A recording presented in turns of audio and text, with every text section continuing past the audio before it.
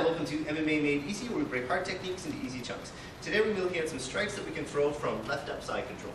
So, my left knee is up, and I've controlled his body, controlled his elbow, and I'm, I'm just kind of sitting here. He's probably tried a few escapes and I've thwarted them with this current position. And from here, what I'm going to do is I need to let go of some structure in order to hit it. Okay?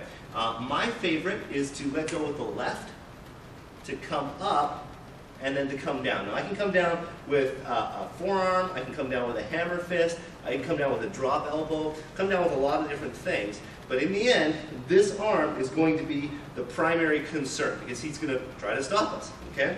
So what you're going to have to do is a little bit of trapping. Okay? It looks like this.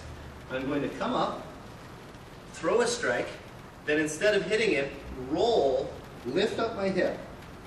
Okay? So I'm here, I come up, throw a strike, hit, lift up my hip. From there, I'm going to push his arm through, kind of like I'm threading a needle, underneath my, underneath my body, and then squish it again. And then from here, come up with another strike. Okay, so I'm here.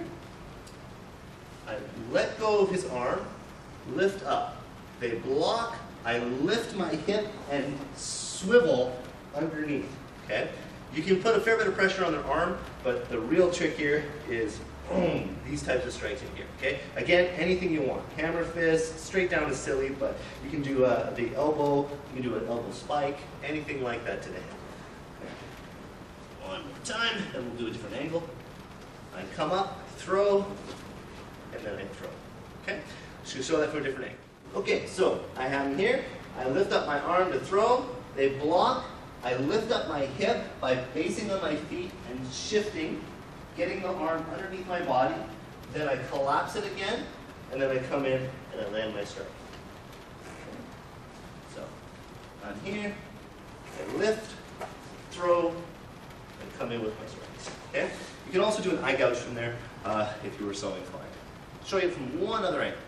So I have him in the shot. From here, I lift up, I throw, bang, I lift my hips, shoot him underneath. From here, my weight is on my uh, left knee and left foot. There's a little bit of weight on my right foot, but not much.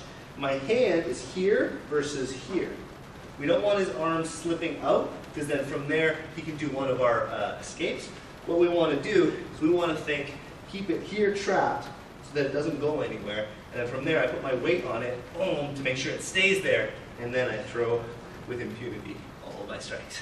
Okay? So that is a, a great way to set up some strikes to the head uh, from side control, left up position.